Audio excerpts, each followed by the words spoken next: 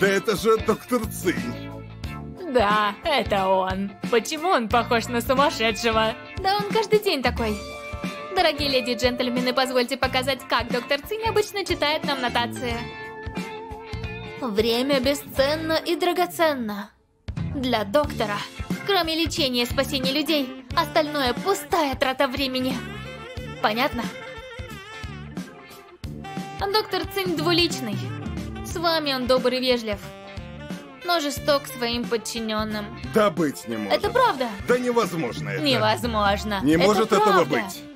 Хотите увидеть другое видео? Доктор Цю, берегите себя. Вы тоже, госпожа. До свидания. Хм, так весело.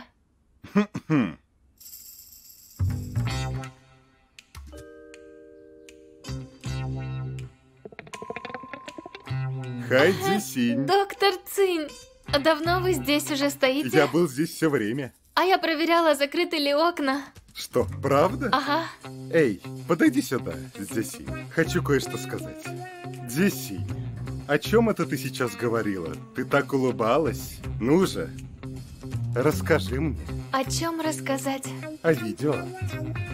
Доктор Цинь, я просто подумала, что вы очень-очень милый. Поэтому засняла вас, смонтировала и загрузила в интернет.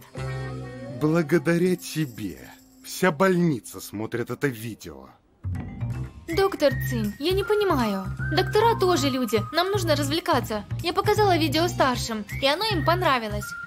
Положительные эмоции благотворно влияют на выздоровление наших пациентов. Кроме того, в медицине есть много аспектов. Например, я заставляю старших смеяться каждый день. И как же я все это время жил без этого? Правда? Да, и это еще не все. У тебя много положительных качеств. Опаздываешь на работу, делаешь опечатки в отчетах. Это все признаки твоих выдающихся навыков. Я ошибался. На самом деле, это мне надо быть твоим учеником, наставник. Наставник! Я... я...